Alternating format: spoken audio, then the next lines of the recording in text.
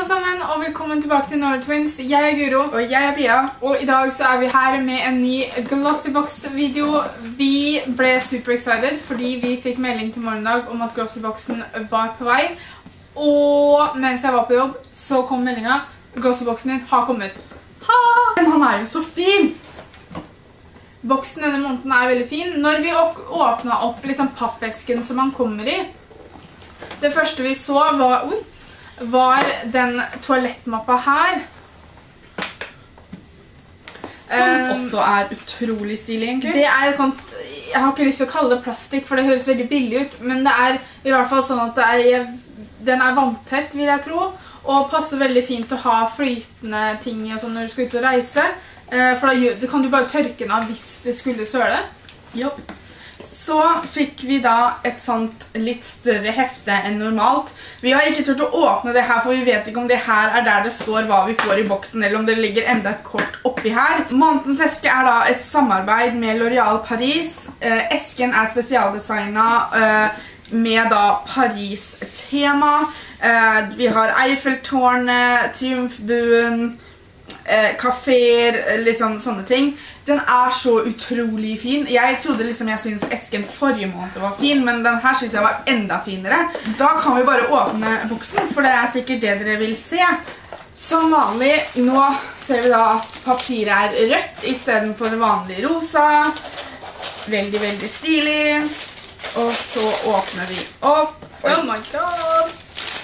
I'm excited! Ja, det første vi kan ta opp Vi kan ta opp den uh, leppestiften her Ja. Nå ser jeg det at ja, det var det heftet som lå utenpå Som kommer til å være priser og sånne ting Mm. Det her er L'Oreal Paris Color Riche Red Passion 297 Eh, Det var den som vi fikk mail om at kom til å liksom være i boksen Nå er det selvfølgelig en sånn Ja.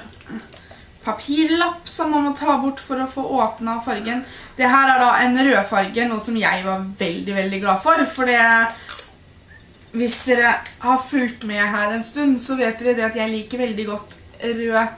Sånn ser fargen ut. Den er, den er rød-rød, for å si det sånn. Åh, så fin! Holy crap. En utrolig fin rødfarve, utrolig sterk rødfarve. Uh, Tro dere eller jeg har aldri prøvd den type levestift her fra L'Oreal. eh, så Jeg gleder meg veldig til å prøve. I det heftet så har de da en sånn side sånn. Leppestiften koster 139 kroner. Eh, så det er jo ganske dyrt, men L'Oreal er jo et kjent merke, og det er jo kjent for å være veldig bra. mm. Det neste vi tar opp er en neglelakk. Den ser sånn ut. Vi har fått samme farge. Det er fargen Klisjé Mania. Klisjé Mania, eller noe sånt. Det er også en Color Reach neglelakk. Eh, skal vi se. Og den koster 59 kroner. Ja. Eh, jeg syns fargen var kjempefin, egentlig. Lilla det er liksom ikke kanskje det man har mest av, eller bruker mest. Nei. Men eh, Nå, nå passer det litt sånn, fordi at jeg og Guro har nettopp vært og fiksa neglene våre eh, hos en venninne, som vi har skrevet et blogginnlegg om, som vi kan linke under her. Um, så vi får ikke prøvd den riktig enda, men sånn kanskje etter hvert så får vi prøvd den. Ja. Så ser jeg den her. Det er en L'Oreal Paris Elnet Satin hårspray. Den her har vi fått før. Jeg tror vi fikk den i desemberesken, hvis ikke jeg tar helt feil. ja, jeg. Men jeg er veldig, veldig, veldig fornøyd. Det her er en av de beste hårsprayene jeg noen gang har prøvd. Vi kjøpte oss en stor flaske etter at vi hadde brukt opp eh, de vi fikk i desemberesken. Den her er perfekt til å ta med seg når du skal ut og reise, så jeg tror jeg skal spare min til vi skal til London i november. Men det her er bare en fantastisk bra hårspray. Han minner meg litt om mormor, for det her er hårspray som mormor brukte, så lukta tar meg litt tilbake når vi var små. Men eh, veldig bra hårspray, holder utrolig bra, så den er jeg veldig fornøyd med. Og reisestørrelsen koster 45 kroner. Det neste er den her. Det trodde jeg var en mascara. Det er ikke til øyenvippene, for å si det sånn. Det er en Brow Artist Plumper. Eh, brow Gel Mascara with fibers for fuller looking brows. Jeg skal innrømme at jeg trodde ikke det var det man kanskje ville ha. Eh, jeg trodde folk plukka og voksa og sånn for å få liksom tynnere øynbryn. øyenbryn. Men Han må prøves, da. den Og herregud, den er jo stor og sånne Ja, og min, så Den jeg bruker fra før av, hvis ikke jeg tar helt feil, så er den også fra L'Oreal, men den begynner å bli tom. Ehm, så det kom jo Det er veldig bra timing på denne her. Det eneste er at fargen er medium dark. Ehm, jeg, hvis det er sånn at de har flere farger enn den her, så vet jeg ikke om kanskje medium dark er den som hadde vært riktig for meg og Pia. Men vi, vi prøver og ser hvordan det fungerer. Fungerer. Fungerer. Ja. Altså, det var verdens minste kost på den her. Selvfølgelig han skal jo gjennom øynbrynene dine, så det... Men fargen ser ikke sånn kjempe... Han ser mørk ut, men jeg tror det kan fungere. Hvis man tar litt forsiktig, så går det sikkert eh, Så- helt greit. Spennende, spennende. Eh, den koster 129 kroner. Så ser jeg noe som er i en plastikkting. Dette er eh, Nutrigold Extraordinary Oil Face. Ja, så det her er da noe du skal ha på Det er ansiktsolje, for å si det lett og Eh, enkelt. Hvorfor? Altså, Daily use. vent da, jeg skal sjekke hva det står her, jeg. Skjem bort huden din i sommer med Nutrigold Extraordinary hudpleie. Nutrigold Extraordinary ansiktsolje tilfører intensiv næring og får huden din til å føles fløyelsmyk med oljer fra bl.a. aprikoskjerner og jojoba og et eteriske oljer fra bl.a. nyperosa, appelsin og lavendel. Ansiktsoljen absorberes lett av huden uten at den føles fet, og gir en frisk glød med et behagelig resultat. En velduftende opplevelse for både huden og sansene passer til alle hudtyper, og den koster 129 kroner. Ja.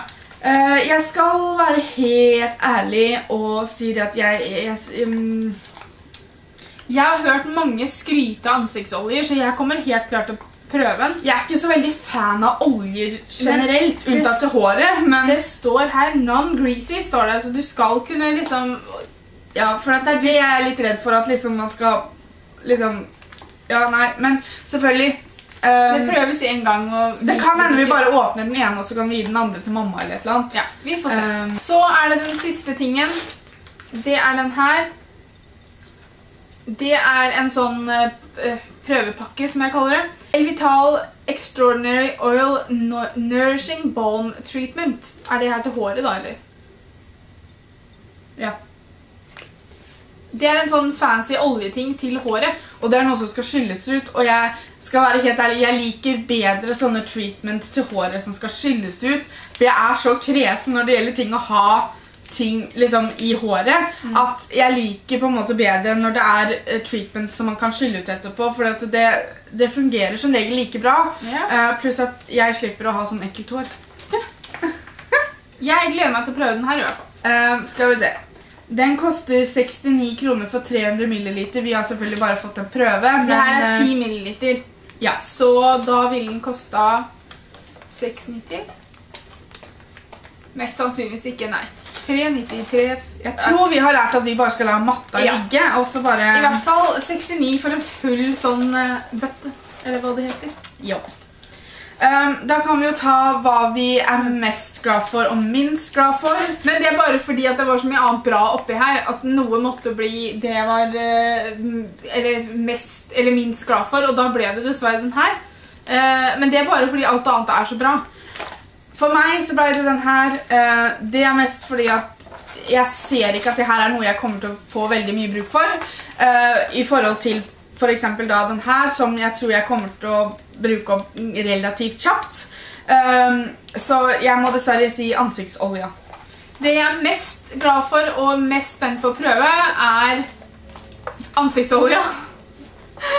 Bare fordi at jeg har hørt så mye Jeg har hørt mange snakke veldig positivt om ansiktsoljer.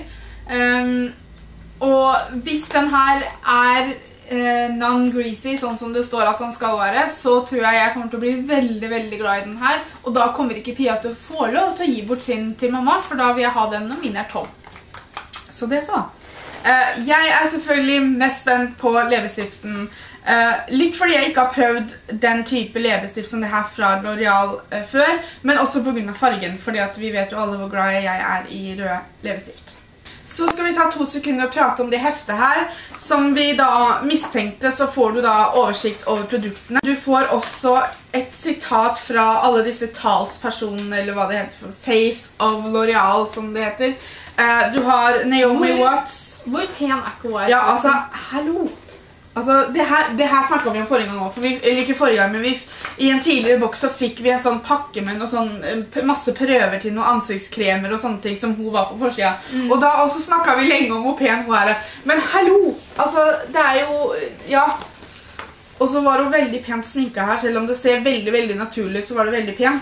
Men det er da et sitat fra disse ansiktene utad. Det er Zoe Saldana. Du har også en Lia Kebede. Jeg vet ikke hvem det er. Hvor Eh, navnet til noen, da? så har du Julianne Moore, som også er en utrolig pen person. Um, jeg liker det at de har litt sånn personer i forskjellige aldre. Det, Ja. liksom ikke bare, det er ikke bare disse unge. Her er en, en som ikke jeg helt klarer å komme til Dutsen. Dutsen Croes? Croes? Ja da! Se, sånn skrives det. Eh, Så hadde vi da oversikten over produktene. Så er det da Det her er kjekt, vet du. For her har du da en sånn tutorial om hvordan du bruker den øyenbryns-tingen. Så er det vel litt Ja. Det her er da litt et sånt kjapt, kort intervju med eh, designeren av esken. Og det er da henne. Um, Så. Det her, det her er noe jeg kommer til å sette meg ned og lese, for det her er sånne ting som jeg synes er veldig, veldig interessant å lese. Det er forresten også en, nevnt en konkurranse bak her, hvor du kan vinne en superboks. Uh, og det man da må gjøre er at man skal legge, uh, legge opp et bilde av ditt Glossybox-øyeblikk på Instagram. Tagg bildet med Instagram-kontoen til Glossybox Norway og hashtag det med Glossy Moments. Og følge dem på Instagram, og så kan man da være med i trekningen av en superboks. Ja, konkurransen varer frem til 31. august, og for å konkurrere så må du ha en åpen Instagram-profil. Ja. Um, ja. Tanker om månedens eske.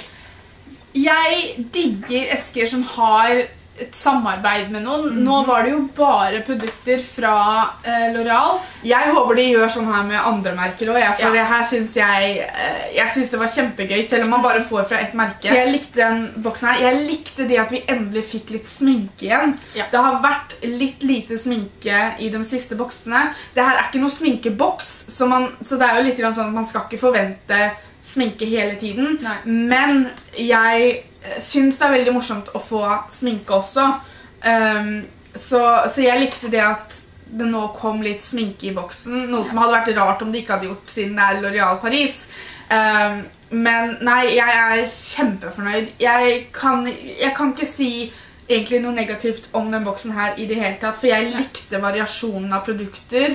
Um, jeg likte at det var en del ting som jeg ikke hadde prøvd før, så det er noe nytt å prøve, for det er jo alltid gøy. Um, nei, så jeg er veldig fornøyd. Det er jeg òg. Det er eh, absolutt eh, en eh, eske som er verdt å ha, få med seg. alt jeg får si. Ja. Pluss at den toalettmappa var jo bare kjempesøt. Ja.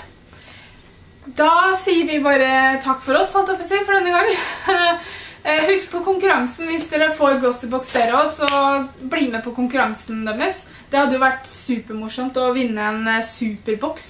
Hvis dere har lyst til å følge oss på sosiale medier, finner dere linkene til det under her på YouTube og over der på bloggen. Tusen takk for at dere så på, så snakkes vi. Ha det!